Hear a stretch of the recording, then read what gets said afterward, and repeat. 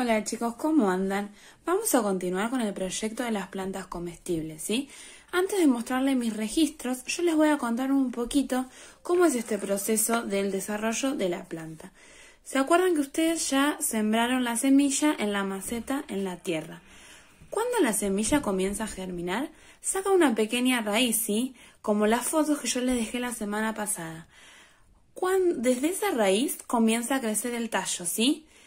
Pero cuando, el tallo va creciendo, la semilla va subiendo con el tallo. Por eso ahora les voy a dejar una foto en el que se ve un pedacito de planta, de hoja, con la semilla como pegadita, ¿sí?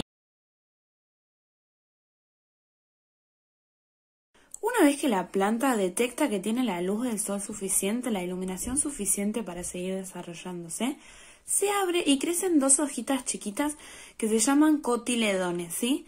Estos cotiledones tienen el alimento suficiente para poder seguir desarrollándose en el primer estadio de la planta. Y así comienza a desarrollarse la raíz. Cuando la raíz es lo suficientemente grande para poder alimentarse de la tierra, estas hojitas, estos cotiledones, se caen y crecen las hojitas verdaderas.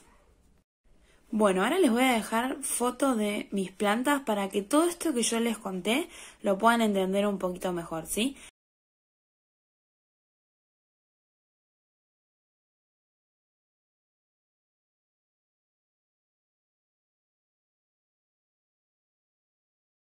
Y además les voy a mostrar los registros que yo hice. Miren, acá tengo el registro de zapallito. ¿Se acuerdan que en el día 7 yo les había contado que salieron los primeros brotes.